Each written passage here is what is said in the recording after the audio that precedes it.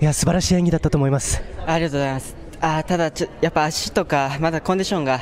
あの万全ではなない状態で入りましたので演技的にはまだまだ課題が残ったり見せ場が作れなかったりしててちょっと反省点だらけではあるんですけどそれでも初演にしては上出来だと思います。あの初演ここまで自分の演技をまとめられた自分を誇りに思いますし明日も気を抜かずに大工頑張りたいと思います。本当にあの町田選手の込められた思いがあふれるようなそんな演技だったと思うんですけどもどういったこう心の中でリンクに向かっていったんですか？そうですね。まあご存知の当時僕のショートは悲恋の極北と銘打って銘打ったんですけれども。まあ人それぞれあのー、いろんな愛の形を心の中に秘めてると思うんですけど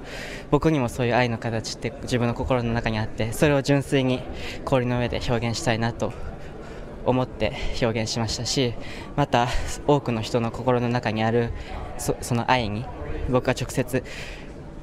僕の演技を通して触れられたらすごく幸せです。大西コーチとミルズコーチ2人ともこううなずいて出迎えてました。ミルズコーチがあの戻ってきた時とあと得点前2度声かけてましたよね。どんなこと言われたんですか？あやっぱ明日があるし明日はやっぱ辰木にとって相当過酷な一日になると思うから今日はゆっくり今から呼吸を明日のために整えて体調を整えなさいということでずっとだからもう今から明日のことが僕ちょっと怖くてですね素直に喜べないというか本当に明日はそれだけ過酷な舞台になるんじゃないかなと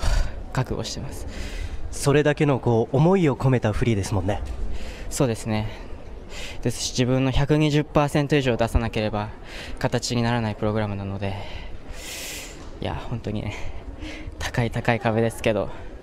チャレンジングだしそれを乗り越えた時の喜びは本当に大きいと思うから